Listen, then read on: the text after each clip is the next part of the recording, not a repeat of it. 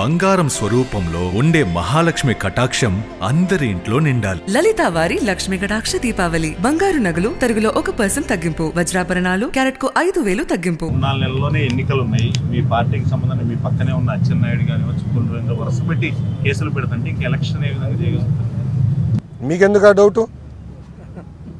మీకెందుకు doubt brother? ఎప్పుడు భయం మా బయటలో లేదు. పోరాటమే.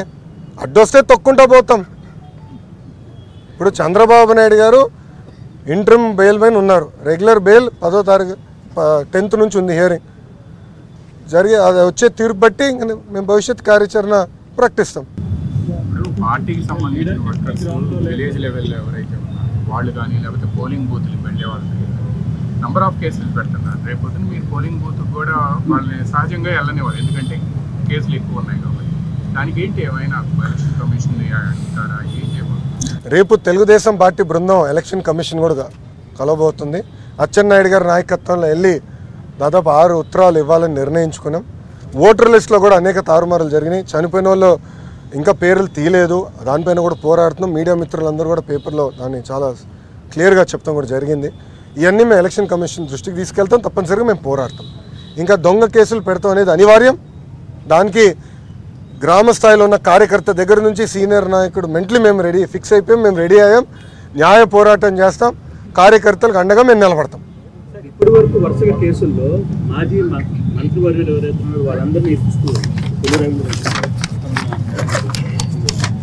రాబోయే రోజులు కూడా రెండు మూడు కేసులు కూడా వస్తాయి అని చెప్పి వస్తున్నారు. ఏంటి ఎలా మీ ప్రిపరేషన్? యుద్ధమే. ఎందుకు డౌట్? ఇంకేం ప్రిపరేషన్ ఉంటుంది? సైకో పైన సైకోని అనిపించుకున్నాడు కదా ఇప్పుడు?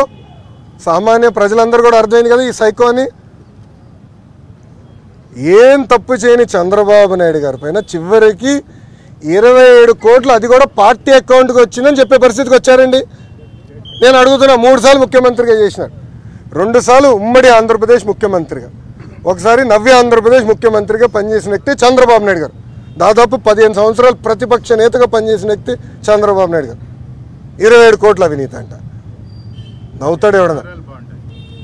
నవ్వుతాడు.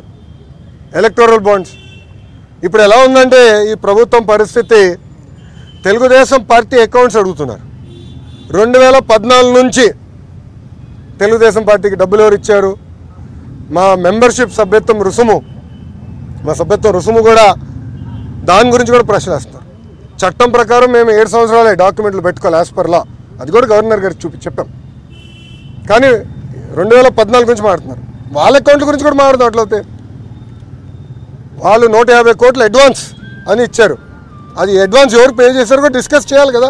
ఎవరికి ఇచ్చారు? నూట యాభై కోట్ల అడ్వాన్స్ సింగిల్ ఐటమ్ ఉంది అడ్వాన్స్ పేడ్ ఆ పార్టీలో ఇంకేం ఖర్చులు లేవంట. ఆఫీస్ ఖర్చులు లేవు కరెంట్ ఖర్చులు లేవు నీళ్ళు ఖర్చులు కాఫీ టీ ఖర్చులు లేవు. ఇంకేం ఖర్చులు లేవు అకౌంట్లో నూట యాభై కోట్లు అడ్వాన్స్ తప్ప. అయినా కూడా చర్చిద్దాం. వీఆర్ రెడీ ఎప్పుడు పారిపోలేదు కదా. చర్చించడానికి ఎప్పుడు సిద్ధంగా ఉన్నాం? వాళ్ళు రాలా?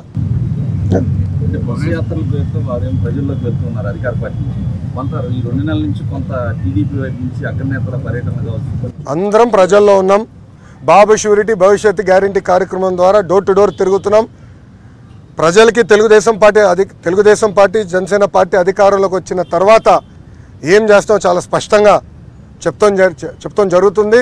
అదేవిధంగా ప్రతిపక్ష నేతలపైన ఈ ప్రభుత్వం చేస్తున్న దాడి కూడా ప్రజలకి ప్రజలకి తెలియజేస్తాం. అది మా నాయకుడు చంద్రబాబు నాయుడు గారు నిర్ణయం తీసుకుంటారు. సరే ఇప్పుడు ఈ ఓట్లకు సంబంధించి కాన్స్టిట్యున్సీలో పదివేలు పదిహేను వేలు పోతున్నాయి. ఆల్రెడీ ఇప్పటికే ఎలక్షన్ కమిషన్ దృష్టికి కూడా తీసుకువెళ్ళారు మేము పోరాడతాం స్టేట్ ఎలక్షన్ కమిషన్ దృష్టికి తీసుకెళ్తాం. అవసరం అయితే మేము మళ్ళీ ఢిల్లీకి కూడా వెళ్ళి ఆ పోరాటం కొనసాగిస్తాం. మేము వదిలిపెట్టాం. దొంగ ఓట్ల పైన మా పోరాటం ఆగదు.